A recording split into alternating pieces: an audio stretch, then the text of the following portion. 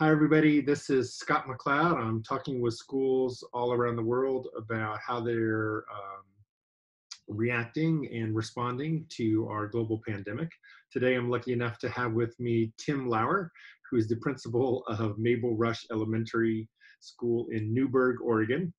Um, Tim and I have known each other quite a long time. So, Tim, thanks for joining us. Why don't you just start off by telling us a little bit about how is your elementary school responding uh, to these times? Sure. Um, yeah, Scott, thanks. Um, it's, it's interesting. So this this week that we're recording should be our spring break, and um, the governor in Oregon uh, basically closed school the week before spring break, and indicated that we would have extended spring break of two weeks. And of course, that quickly changed last week to being uh, April 28th is is now the date. Um, and you know, who knows? I mean, looking around the country, you see in other states and what they've done uh, in terms of deciding to cancel the year and that type of thing.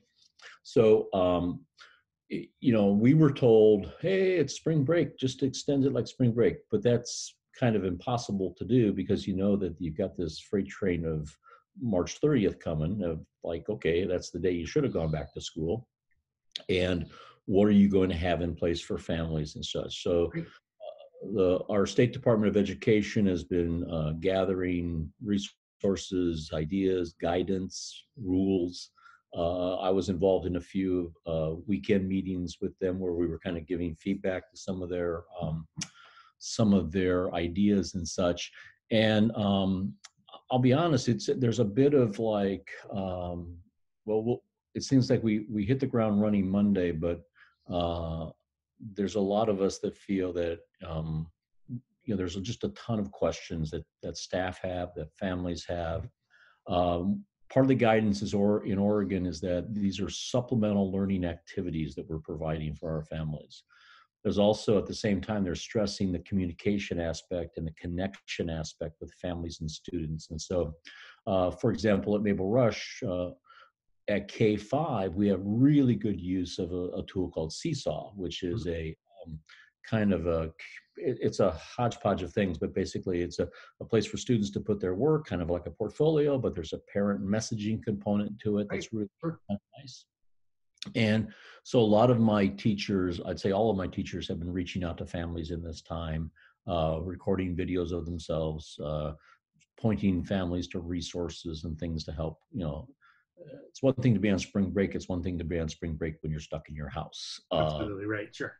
And um, so that's some of the work. Uh, uh, parallel track to that, our, our admin team has been working kind of figuring out logistical types of things about how to get devices in the hands of students who need them. So we've been doing some outreach to our community to kind of determine that. Uh, we're also uh, we're all doing uh, Google Hangout staff meetings on Monday to kind of. Uh, I'm actually doing a practice session with some of my staff this afternoon, um, kind of get them up to speed. Um, but there's a lot of ambiguity about what does the next month and after look like. And the guidance from the state is that you know you can't have new learning, you can't run school unless you cover all these bases in terms of um, you know, supporting students on IEPs and ELD learners and that type of thing. And so, um, and there's a tendency for a lot of folks to want to jump in and do a lot, and uh, but it's a new area. Uh, you know, um, you know, our school runs from roughly 8:30 to 3:10.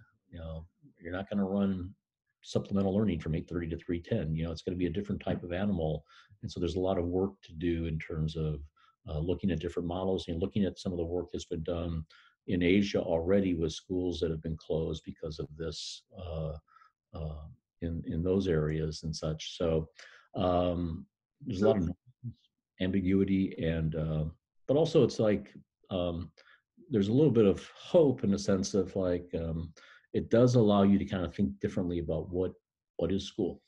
Yeah. Yeah. Well, and I guess that's what I was going to follow up on, Tim, is that I wonder if you and your staff see this idea of you're not allowed to, to really focus heavily on quote core instruction, right? Um, so is that a challenge for you and your staff, or is that an opportunity for you and your staff? I think it's going to be it's going to vary. Folks are approaching that differently. Um, I think a lot of folks look at it as an opportunity. Um, you know, I was talking to a, a colleague of mine at a, a, Jamie Richardson. He's a middle school principal, um, doing a lot of really, uh, uh, you know, D school kind of design thinking kind of things with his middle school students, and and so he's he's approaching it from this aspect of, um, okay, this is kind of an opportunity to kind of try something a little bit different. Um, there are, but I also had teachers on the last day who wanted to run, you know, thousands of packets and send those home. You know. Right, right, right, sure. So I think there's a, you know, there are a lot of online tools that we have been using or we've been piloting. So some of those can lend themselves to kind of, uh, I guess, some of that work that you would want kids to continue with, but also knowing that you've got these various tools out there. Connectivity is a big issue. Yeah. Uh, you know, for uh, I think in our district they did a survey a couple years ago. Like 18% of our families don't have broadband um, or don't have any connectivity. It's mm-hmm. what they said. I think there's a little bit now, but also how do you leverage cell phones and and um, you know community Wi-Fi and that kind of thing. Uh. Uh, Don Wolf, uh, the the um, Portland CIO, um, really great guy. He's been in, involved in Oregon education for a long time. He had a great suggestion of like going out to the community and and telling folks to turn you know add an additional access point to your to your um, you know modem thing whatever it's called right. and called for, for, students or something and so that yeah. the neighborhood who maybe doesn't have connectivity can get on you know that type of thing yeah yeah absolutely so, Tim, you know, do you think there's particular challenges during this time with our youngest students? Yeah, most definitely. I mean, it's um, you know, ideally, you know, I taught kindergarten for 16 years, and you know, you want activity based, you want social interaction. Um, you know, you don't want kids just doing screen time work and that type of thing and so so i think the challenge is how do you construct meaningful activities and engaging activities for for younger students um, that uh, you know you can kind of set up i'm going to deliver this information t- to the family online uh, but i i need you to go out in the backyard and kind of you know dig in the sandbox a little bit you know right. kind of yeah yeah, well, and I, I know some elementary folks that I've been talking to are struggling with the fact that a lot of these tools, for example, if you have connectivity, are for ages 13 and up. Um, and we yeah. might be able to get around that in a school classroom because the teacher is controlling the tool um, and you're using it collectively. But now at home, you can't do that, right? Right. And I think there's been a tendency, like, you know, I mean, it's been this tsunami of like, you know, we're free till till January or we're free, we're free, we're free. And then, you know, and you know, that's something we've always dealt with with teachers who kind of want to get it, hey, this looks like a great thing for my kids to do. Mm-hmm. So, yeah, but we have some guidance and rules and laws that we have to follow to make sure that privacy is protected and and, and educational rights and that type of thing. And so I, I think in in the time of an emergency or a crisis, you know, you know, it's like damn the torpedo, torpedo. and so the the the nice thing about uh, some of our, you know, some of the, the programs that schools have, for example, at three through twelve in Newberg were Chromebooks. The Chromebooks have a, you know, they're easily filtered. So even if they go home, right. Uh, we're able to say, hey, there's this tool that's really abusive. We don't want our kids using it. We can we can block that, you know, right. kind of thing.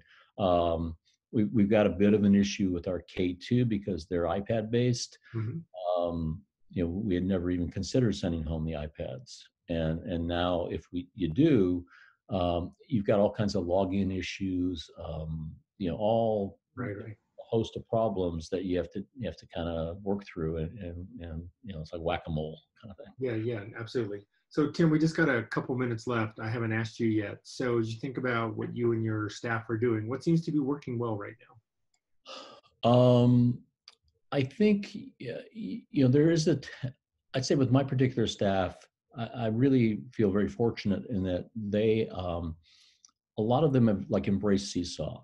And so uh, in my in our respect, I think that's great because we've got this base platform now that we can use and we can start to use more creatively than we, maybe we have been in the past.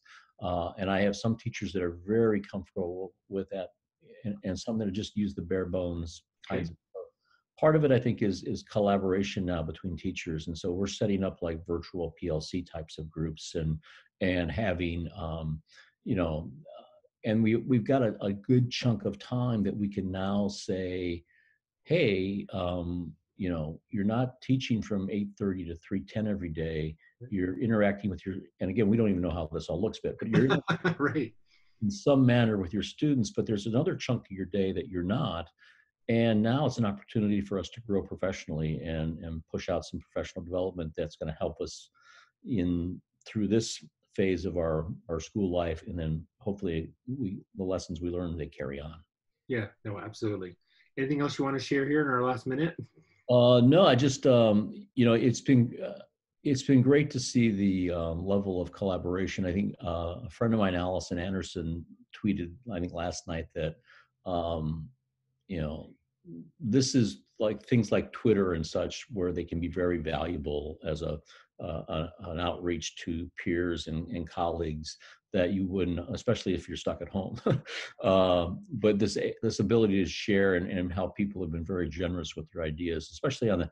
I've seen uh, statewide in Oregon. There's a there's a state technology group for like the both like books and um, they're all crowdsourcing solutions and problems and this, right. that's been great to see cool all right this is we're going to wrap this up. This is another episode of the Coronavirus Chronicles. Thank you, Tim, for your time. Uh, good luck with the launch here next week, and uh, I'll touch base with you soon. Thank Thanks you. Thank you.